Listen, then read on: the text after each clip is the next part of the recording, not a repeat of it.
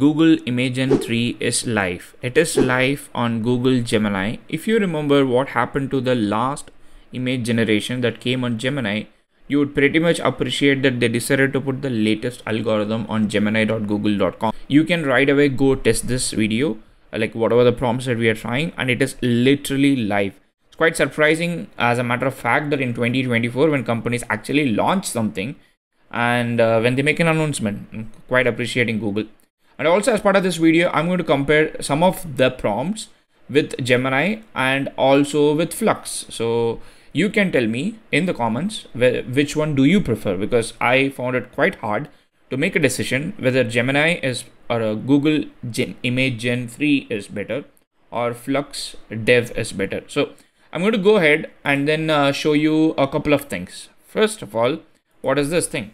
So there are a bunch of announcements. I'm not going to go over all those things. The most important thing that I care about is that Imagen 3. Uh, when Google launched Imagen 3, I guess it was like one of the earliest models, uh, image generation models that could do text rendering. It was amazing. It was uh, top notch. It was brilliant. And seems like that brilliance is available in the hands of all the users who could access Gemini. The question is whether this is more brilliant than everything else in the market. Let's test it out. They've got a couple of prompts here, as you can see here. And we are going to test out these prompts on uh, Flux and then see. Only catch here is that though I'm going to test it on Flux uh, Dev, not the the biggest, the largest version of Flux, which is not available. So I'm going to test it against the open weights model, but it is non-commercial. The reason I'm testing it against Flux is primarily because I can train LoRA on Flux. Next, how do you access it? So the easiest way for you to access it, go to gemini.google.com and then say create or generate. So these are some of the trigger words that you have to use. Google has been very clear about it. So you have to enter a prompt and after you enter a prompt, you can ask for it to create or generate an image. So whatever you want to mention, just mention it here and just prefix it with generate or create. And what kind of images that you want, um, you can say either draw, generate or create. So you have to add two things. One is a visual description. The second one is the image style of it. Okay. Uh, so if you're used to stable diffusion, uh, you would be pretty much clear about it.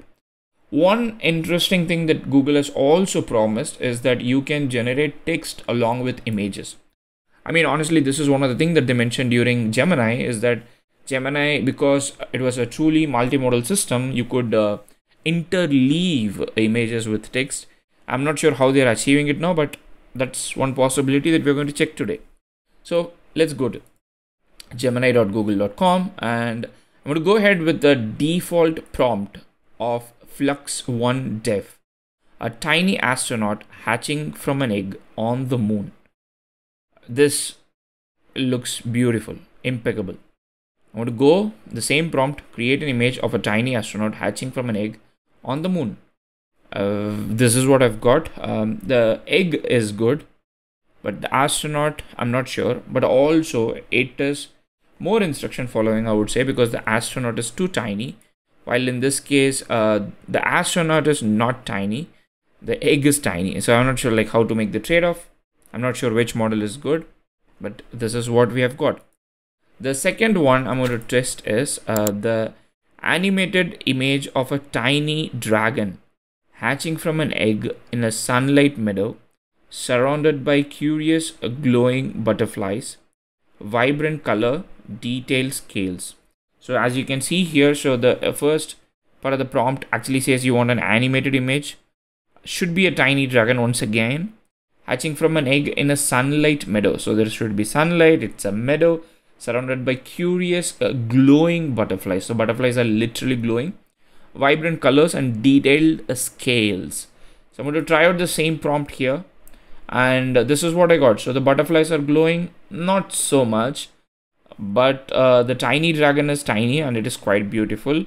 And I think it is a vibrant color uh, there are some decent scales over there and uh, the sunlit meadow sun did i read sunlight sunlit meadow is good so i like this uh, it's not as exact instruction following as what Gemini is, but this is good. I like it. But in terms of pure image quality, had I seen this first, I would have said Gemini is better in this particular case. So let's try out another image. An image of a ball gown made of paper napkins in an elegant showroom. So if you see this image, this is an image of a ball gown made of paper napkins. Does it look like paper napkins? Kind of. It, it, it kind of looks like paper napkins. So I'm going to go ahead and then try out the same image. Image of a ball gown made of paper napkins in an elegant showroom and this is what I got. The image is good. I don't mistake the image here. But does it look like a paper napkin? That's my question. I don't find it exactly like paper napkin, but uh, quite a zoomed out picture. The image is good. So I can't complain. But once again, the Gemini 1 is what I feel is closer to what the prompt is saying. I, I did not test this, so I'm going to test this live. A photorealistic image of a breathtaking Mount Vista. Um, copy this. Um, copying this should be like so easy but I, I don't know why these guys have made it so difficult for me to copy this thing. Okay let me go copy this prompt here. Expanded oh my goodness. Okay i copied finally thank goodness. I know how to use inspect tools. I'm going to go here duplicate this. This is flux 1 dev not schnell dev. So i'm going to just say a photorealistic image of all the details. Let's go ahead and then read the prompt. A photorealistic image of a breathtaking mountain vista with jagged peaks and snow-capped summits. Bathed in the warm glow of setting sun, dramatic clouds painted in vibrant hues. I'm not going to read the list of the one because it sounds like a poem. But uh, now the image is being generated. Uh, we can see some details over here. So what kind of details do we have got? The the shadows are good. Um, so which resembles the sun is setting and you have got the details like the long shot of the image. It's not just the front of the image the long shot of the image is nice the rugged landscape is nice the long shadows being casted are nice. So we have got the one. Um, once again i like the image. The image is not bad. Do i have enough shadows uh, like what i have here? Um, maybe. Uh, in this particular case at least i wouldn't say gemini is like drastically better but it's good. It's a good um, image in this particular case. Once again this is something that i could not figure out whether it is good or not.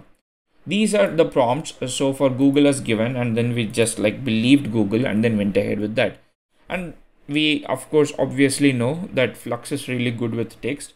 So the for this particular image at least i believe that flux and google gemini would be the same.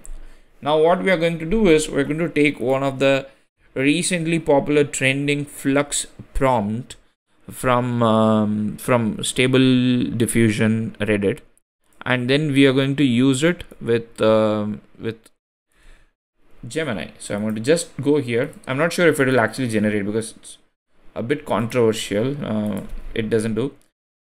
Generate a photo of blurry vintage black try input um, uh, young female. Shh, that's it. Uh, this is i just said generate a photo of instead of photo i said photo i hope it understands. A blurry vintage image.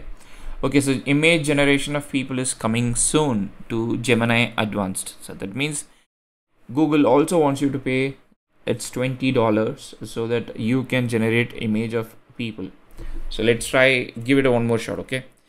Generate a photo of a happy couple I guess couple is a human in this particular case and uh, I'm not sure if it's going to generate. Once again it's not going to generate because you cannot generate people with free version of Google Gemini. You have to subscribe to Gemini Advanced. Even though Google just says one thing which is uh, they are not going to allow you to create these kind of images which obviously I think nobody's going to use internet to create. But even if you were to create human images then you have to go subscribe for gemini advanced cool.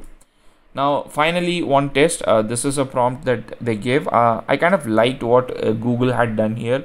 There is a huge improvement between imagen 2 and imagen 3 so i wanted to see if uh, flux can do this. So i went ahead and did with flux. And flux is good. I mean if you do not see imagen 3 flux is good. But when i put this side to side uh, i i don't I, I can't say flux is good in this case. But once again what i'm trying with flux is the flux dev model which is um, the open weights model. I don't know what is the highest level of a flux model is from. So that model necessarily could be much better than this and i'm not testing it with that.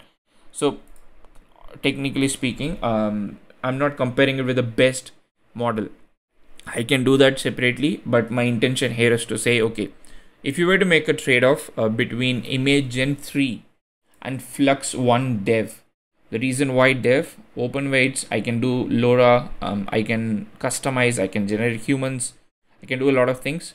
What will you choose? Let me know. But before i let you go i am going to ask it to generate an image. Uh, generate a youtube thumbnail where a coder named one little coder is making gemini image gemini imagen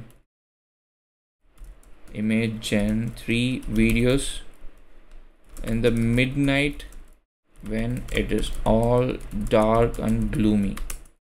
Okay i'm going to give the same one i hope it generates i don't i don't want it to say that i'm not going to do it because you know it's human youtube thumbnail okay i'm just going to say youtube thumbnail the same exact same prompt and we are going to come it, seriously i mean google this is what you could come up okay uh, generate more i'm going to see I hope at least it gives my name. Um, otherwise, I have to say that, oh, oh my goodness. I can't generate these images. Enter a new prompt. Flux, I, I, uh, I believe that you would at least help me um, satisfy my um, ego generating like a text with one little coder on it. Please don't disappoint me, Flux. I would say that you are the best. Please. Okay, it this also did not so maybe there is a mistake in my prompt i guess uh, so i can pretty much understand let me know which one do you like but go to gemini.google.com and uh, try out the imagen 3 as long as it's there before. Elon musk tweets about it and google takes it down and everybody jumps on google. See you in another video. Happy prompting